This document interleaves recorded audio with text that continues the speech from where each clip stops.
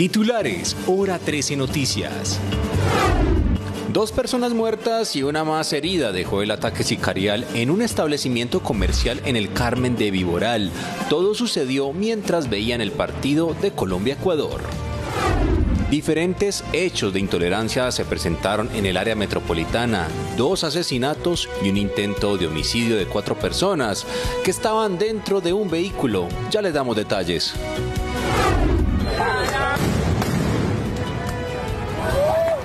Preocupante la forma de protestar a las afueras del Politécnico Jaime Isaza Cadavid.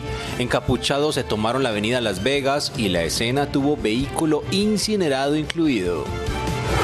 En video quedó registrado el ataque con artefacto explosivo a la casa del alcalde del Carmen de Atrato en Chocó.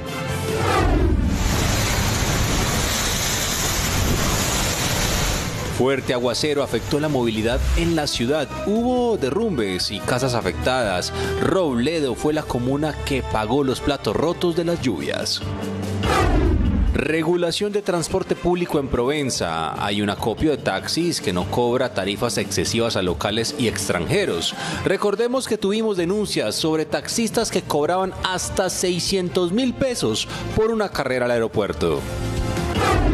Sin Edwin Cardona, Nacional va por su primera victoria en cuadrangulares. El verde jugará esta noche ante Santa Fe.